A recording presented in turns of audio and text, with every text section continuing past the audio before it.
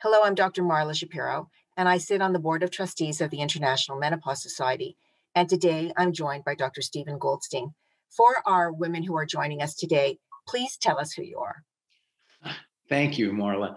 My name is Steve Goldstein, as you said, and I'm the president of the International Menopause Society, and I'm also a professor of obstetrics and gynecology at the New York University Grossman School of Medicine uh, in New York City. Uh, what I'd like to talk to you today about is bone health, um, what that is, and then talk a little bit about the importance and the role of muscle in bone health. So, for many of our viewers, they often think about obstetricians and gynecologists in any other direction other than bone. So, tell us why bone, particularly, and bone health, and what you mean by that is so critical to midlife women and beyond. Well, in the United States, if you break your hip, you have a 21% chance of being dead within a year. Think about that. And 25% chance of not living independently again, ending up in a nursing home. Now, most of my patients are very much attuned to their breast health. They go for their annual breast imaging. Uh, the five year survival on stage one or early breast cancer is 99%, not 21% dead within a year as it is with a hip fracture.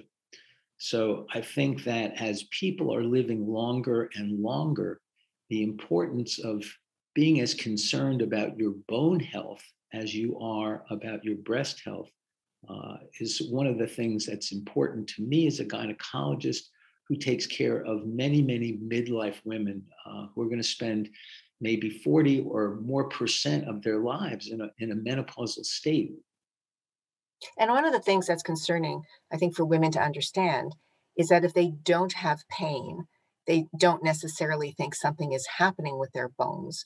Or as they're getting older and a little bit more frail, they might not understand that that too will impact on the risk that they may carry for fracture. So, talk to us about the global picture of bone and muscle and our balance. What does that mean? There's no question that if most people today are ordering bone density tests to look at bone mass, and patients who, let's say, have a test for cholesterol and then may go on a medication if it's too high, or blood pressure and they go on a medication and then they want to know what's my blood pressure, what's my cholesterol. What I see happening, at least in, in, in the United States, and I think in most developed countries, uh, is people order a bone density test. And then if the score is poor, they want to treat patients often with a medication. Um, osteoporosis is even the term refers to bone. And I used to write uh, an update for a journal uh, an update on osteoporosis every year. And a couple of years ago, I made them change it to update on bone health. You realize that one third of women who fracture their hip don't have osteoporosis. If you have osteoporosis, your risk is that much greater. But if you don't have osteoporosis, you're not risk free. As you pointed out, these, what we call fragility fractures, this is not from falling down a flight of stairs, this is falling from a standing height causing a fracture uh, is can be a devastating uh, end of life event for many women as they age. And so, uh, prevention of these things is very important. Now, in addition to bone density, and I'll get to the muscle aspect in a moment, but things like non-skid rugs in the bathroom, good rubber soles to your shoes, maintaining good eyesight. If you live in an area where there might be black ice, being careful of anything that might contribute to falls uh, having nothing between you and the bathroom in the middle of the night to trip on. These are all part of the entire picture. But what's emerging and what I wanted to bring to you now uh, is this concept, and the medical term is sarcopenia. Now, I know that sounds strange. What is that? That is the inevitable wasting of muscle mass as we age, and everybody will experience this. But how much your muscles waste some of that may be genetic, but some of that is also the effort that you put in.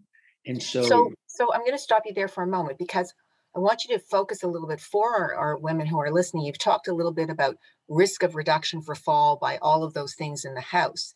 But what about the things that you can do to reduce your risk of fall because you're frail? Is there anything that can happen because of that? It's one thing to make sure you've got a clear path, but what about our bodies?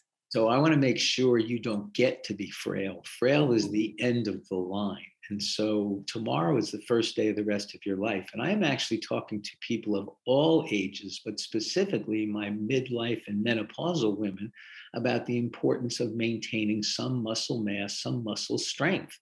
Uh, you don't need to necessarily join a gym or pay for a trainer uh, in order to uh, think about what's important in maintaining some effort to maintain some muscle mass, some muscle strength, and muscle performance. Uh, you can go online, for instance. Uh, there are uh, the, the, Philips company that make light bulbs and ultrasound machines. They've got a, a thing. If you Google balance exercise, there are 14 exercises to maintain strength and balance in seniors. As little as 15 to 30 minutes a day in your home. There are some simple exercises uh, that can maintain muscle strength and muscle balance. But it begins with an awareness that this is something you want to do and need to do and need to pay attention to. You wouldn't go out of the house in the morning without putting a comb through your hair or brushing your teeth. You should think about some of this physical activity uh, as essential a part of activities of daily living as as brushing your teeth or, or brushing your hair. Yeah, certainly things that are going to strengthen our muscle mass and our muscles support our bones. So if our muscles are strong and keep us upright without an additional layer for risk for fall, that can only translate into a lower risk for fracture. Absolutely. There's good evidence if you have this muscle wasting, this sarcopenia, you have any degree of low bone, you know, not even osteoporosis, just this vague term of osteopenia, you know, this low bone mass, you triple your risk of falls and you quadruple your risk of fracture. So there is a lot more to bone health than simply bone density testing, than simply taking calcium or vitamin D, which are important, but maintaining good balance, good muscle strength, muscle mass. Uh, and, and what that means for the individual patient will vary. Some of my patients do go to a gym, some have uh, do it by video, uh, some need some help in terms of a, a class, but you need to find something that will work for you uh, to help maintain muscle mass, muscle strength, and muscle performance, because this is just as important to your bone health as what your test would be, let's say, on a, on a bone density test. So, if you're looking you're at yourself as a woman, is there anything that you could do that would give you the clue that you're running into trouble? Any simple tests that we can do at home sure. can you stand on, Yes, I, I start by telling people can you stand on one leg for 60 seconds without touching the wall or a chair? You can stand on one leg for 60 seconds, both sides, for you know, then you're you're doing pretty well. And if you can do it with your eyes closed, don't worry about this conversation. You're way ahead of the curve. I think also, you know, for individuals, if they struggle to get out of a chair and need to push on the arms of a chair, what does that tell us about their frailty and risk for fracture? Well, there's no question. The inability to stand from, you know, from a chair without using the arms uh, is one measure. Uh, it's also gait speed, um, you know, grip strength. I mean, there are there are objective ways of measuring this that some doctors will employ, but this is just in its infancy. So right now, what I'm interested in is an awareness and whether over the next decade we will develop better techniques to measure your muscle mass, your muscle strength, your muscle performance as easily as we now measure bone density. Uh, and well, will that become as common? I don't know. But right now, I just want people to be aware of the importance of doing something to maintain uh, their muscle strength and their muscle mass.